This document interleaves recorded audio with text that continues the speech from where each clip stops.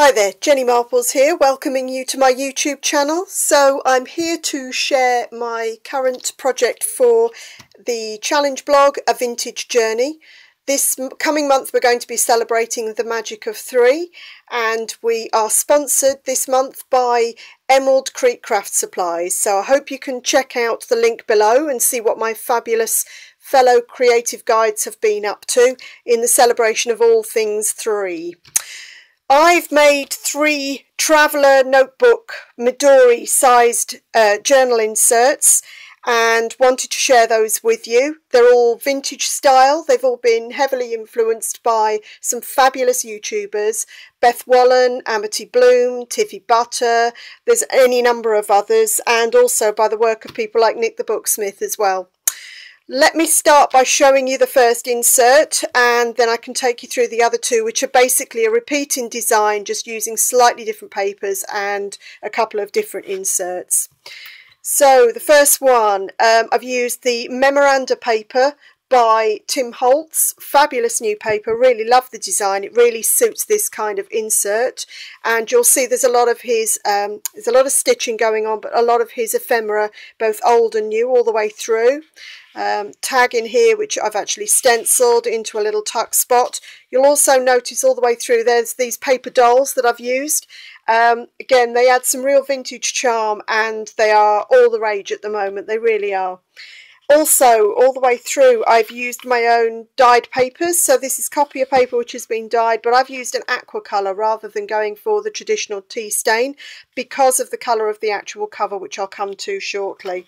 So you'll also see here that I have a tuck spot included here with some of the ephemera and there's also a little pocket there and all of the ephemera that I've included has actually got a blank spot on the back so that it can be used for journaling.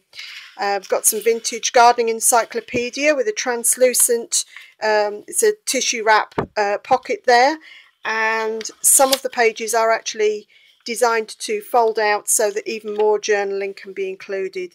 There's some stamping that's been done on the graph paper uh, but I've kept that quite light so that people can write over it.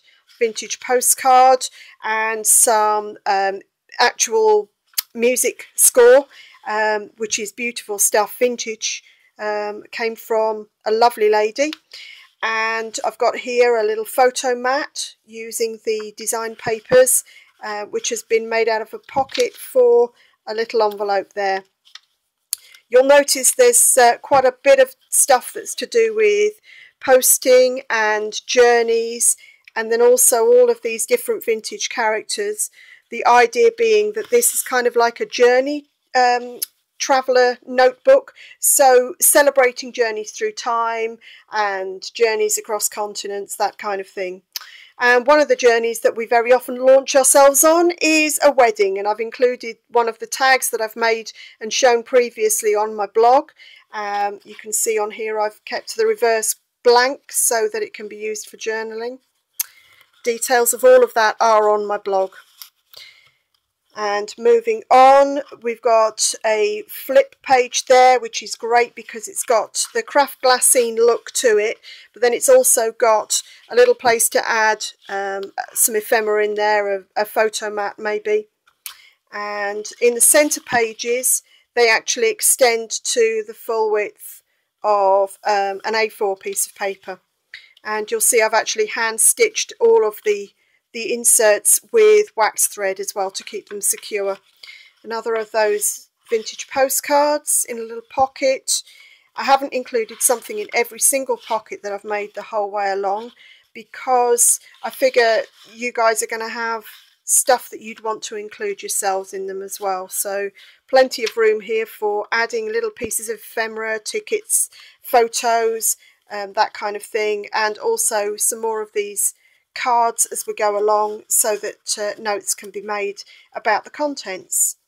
Again, some more of that music score and more pockets, more flip outs, plenty of note taking space. Love this one at the back here. This is a, a flip up. Um, so you can see there plenty of place to add pictures and also one of these film strips, again a Tim Holtz one that's actually blank on the reverse so that you can even write on there. But again, if you want to add something into that pocket of your own, you can do. Another pocket here, another flip out, and at the back, another place for either journaling or a photo mat into a pocket. And that's the cover of the first. Moving on then, we've got exactly the same pattern repeated for the second and for the third since it's the magic of three. It also helps because these kinds of projects can be quite um, time consuming in the sense that you've got to think about where you want to put things and whereabouts you want to include pages and different designs of pages.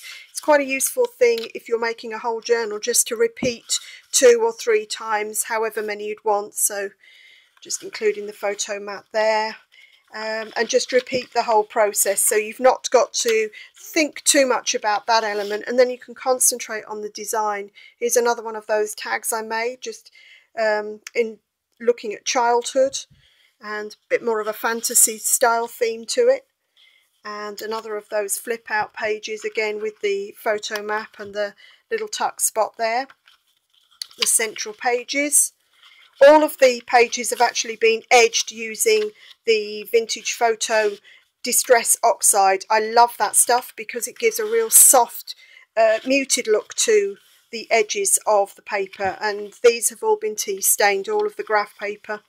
Another tuck spot there all stitched so that they will stay in place. There's not just glue and another piece of ephemera at the back there and another tuck spot more pages and flips and another of those pockets with the flip ups there.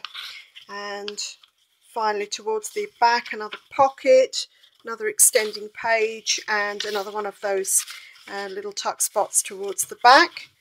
And then the final one you'll be familiar with the format now. So again another tag just flipping through great little pocket there another tuck spot more fold outs more graph more postcards more pockets with little photo mats in there another flip this particular tag is the final in the series of three, celebrating childhood but also childhood education. It's quite an important thing, something that's dear to my heart. So I kind of figured that was quite an important part of our journey along the way of life. So I'd include that in there.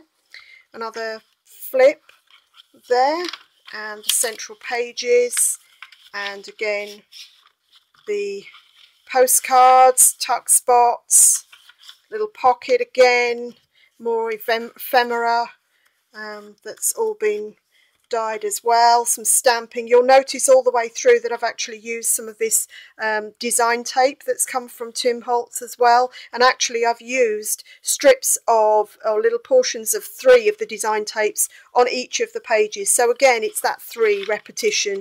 Um, things look better in threes, I think. And there we go, three photos as well. So really celebrating that. Another pocket and a final flip out page and a final mat and tuck spot at the back.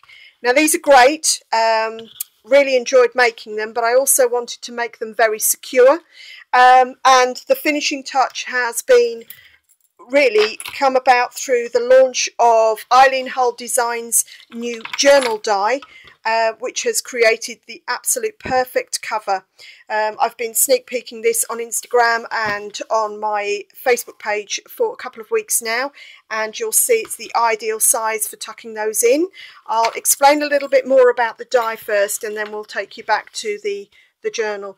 Now, the journal die itself is a Bigz XL die that comes from Sizzix. I was lucky enough to be able to be demoing this at the Creativation show back in the US um, at the beginning of January. Uh, it's a Bigz XL die, which means basically that it will cut um, your thick card. This is mat board.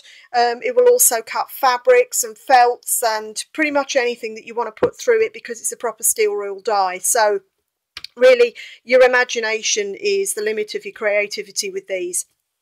You get one of the covers, you get um, one of these little plaques that you can use on the front of your cover. You also get the little tags that actually will crease and fold and you also get these closures as well again which have the creases all inside. So everything comes for you within the die.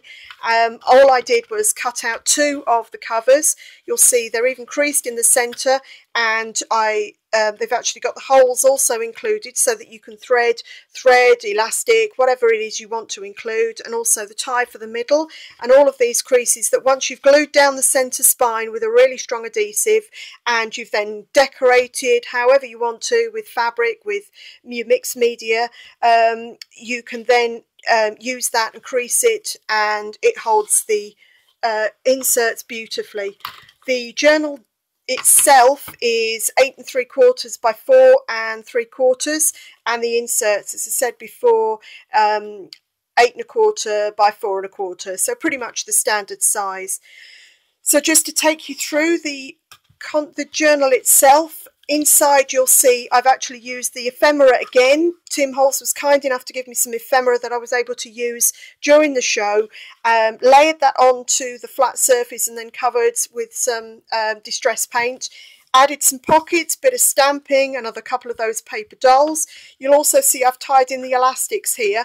I've uh, gone for some really strong closures on this one to hold these substantial inserts in, but as I said, you can use ribbon, you can use thinner elastic, thread, whatever else you want to. And on the cover, again, the ephemera is there, but it's also hidden by a layer of translucent uh, paste from Ranger, um, which I've put through a layering stencil and then used that as a resist. Um, I was lucky enough to be credited with this particular technique by Tim Holtz in his Creative Chemistry 103 course, online course, which I can highly recommend. So thank you for that, Tim.